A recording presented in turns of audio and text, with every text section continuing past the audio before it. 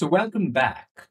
Now, if you've already got all of your estimates at the start of the project, then the next step for you is to plan the project and figure out what it is going to take for you to deliver the project.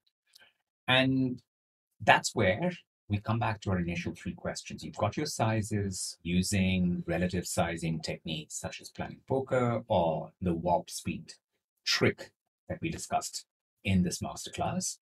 Now you've got to answer how fast you can go. And there you have the notion of raw velocity.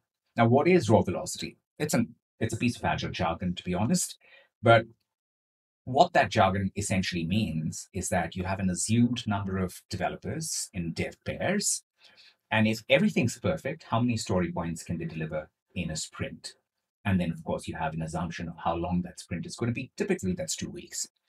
So that's what you're trying to find out. So let's say you have 100 points to deliver, and you discover that your team can deliver 10 points per sprint as their raw velocity, then if everything is ideal, then in 10 sprints, you can deliver the whole project. That's if everything's ideal. Things are never ideal. But let's explore this a little further. So the question really is, you have this backlog, how are you going to deliver it? So first things first, you've got to estimate a good cross section of that mm. backlog. Once you've done that, you need to hide all the estimates. Only you, as the product owner, knows exactly the estimates for every story. The developers don't know because they're going to be playing this game. Work with the devs and ask them to fill three imaginary sprints until they feel full. All right. You assume a certain number of developers, you assume a certain sprint size. So the developers will then take a bunch of stories, they'll organize them, and they'll say, okay, this feels full. This is when you reveal the estimates. Now, once you reveal the estimates, you've got to total them up. And when you total them up, you are seeing here that sprint one is 12 points, sprint two is 14 points, and then sprint three is 11 points. Okay, so there's some variance right there, right? No worries you note down what you've achieved in this particular round. So in this round, an average tells you that, well, the developers feel it's going to be about 12-ish points, 12.33 points per sprint. Remember, we don't want to be precise, we want to be accurate. Okay, so you go one more round and say, all right, developers, let's fill up the sprints. And you do this again, and you know the drill. Well, reveal the estimates and then again, you know the drill, sum them up. So here we are seeing there is a little more convergence, 12 points, 12 points, 13 points, but probably not as much convergence as we would have liked, probably nothing better than last time. So if we take an average, well, round two gives you 12.33 points as well. So maybe that's getting to above what our initial velocity could be, our raw velocity could be. So let's do another round and clarify our understanding. You know the drill, ask your developers to fill up sprints. They do that. And now you total again. And you see that probably you're getting to some sort of convergence and you see, well, the sum total of each of those sprints comes to 12 points.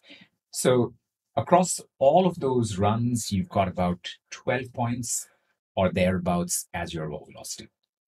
Now you can use this as a starting point to do the rest of your planning. First things first, to keep in mind, if you see very wild variances, that's a topic for discussion. Pause the exercise, have a conversation. Now, this number that you're going to get at the end of the whole exercise, the raw velocity of 12 points, this isn't just a simple uh, average, right? You've got to ensure that the team feels comfortable. If the team doesn't feel comfortable with this exercise, have a conversation, redo the exercise, and arrive at a number that the team can put their weight behind. Now, this 12 points assumes a few things. Whatever the assumptions might be, write them down. If the assumptions change, everything else will change along with it. And also remember, this is only a starting point you'll have to revise it as you learn more.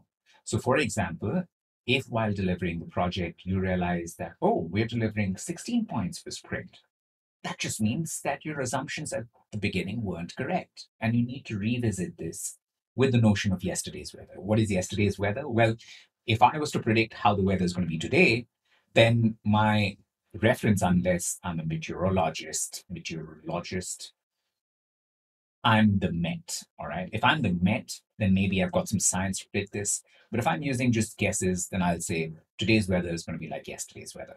So yeah, use this as a starting point for your planning, but revise it as you learn more. All right. So that's how you play the velocity game.